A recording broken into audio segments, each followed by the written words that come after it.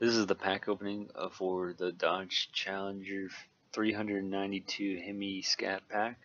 Before we get started opening the pack, I would just like to mention that the new updates to the game have made it easier to get around to the different modes, whether you are playing this game on your PC or your phone. It is definitely a better format to play on.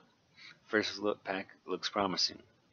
I was able to find uh, H2 speed hopefully the rest of these packs uh, can give me some more options I can get some epic cards for my cars.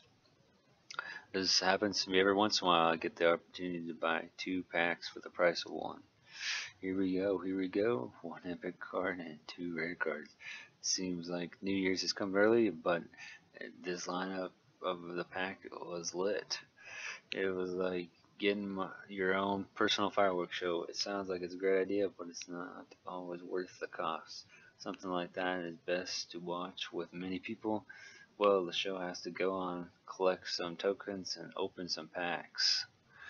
Uh, let's take a jump over to the new features that were added to the game. The ability to collect tokens and complete the daily goals, uh, and collect uh, some cards after you get so many of these achievements done per day.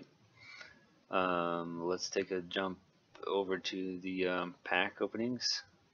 In a way, you could say it's like getting a rolling double snake eyes. Um, you got double the danger happening right there. And then uh, another problem they didn't really fix yet is releasing a multiplayer.